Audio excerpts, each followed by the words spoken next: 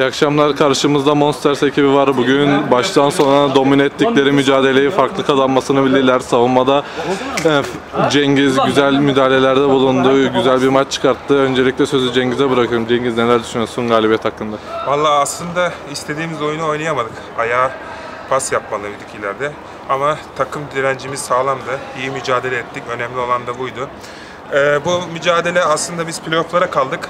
Bu mücadele bizim için bir e, test maçı oldu. Test müsabakası oldu. Rakibimiz de sağlam, çok iyi rakip. Çok güzel top oynadı, centilmen top oynadı. Tebrik ediyorum. Playoff'larda kendimizi göstereceğiz. İyi takımız, iyi takım olduğumuzu bir defa daha gördük. Valla devamı gelecektir inşallah. Sözü Onur arkadaşıma bırakıyorum. Onur sen ileride çok güzeldin. Müthiş çalımlar attın. Neler düşünüyorsun galibiyet hakkında? Vallahi iyiydi arkada takım arkadaşlarımız iyiydi, iyi oynadılar, iyi mücadele yaptılar. Haklı bir galibiyet. iyi oldu yani. Fatih sen neler düşünüyorsun? Geçen haftaya nazaran bu maçta biraz rakip daha güçlüydü, daha dirençliydi.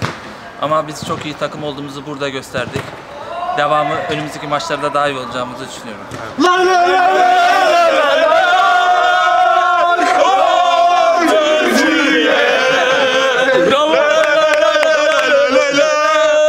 Monsters ekibinden Gökhan'la Fatih var. Onların da eklemek istedikleri bir şeyler varmış galibiyet hakkında. Söz sizde.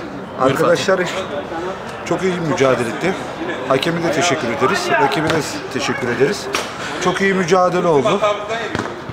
İyi bir skor elde ettik güzel oyunla. İnşallah bunun devamı playofflarda gelecek. Önümüzdeki maçlara bakacağız artık.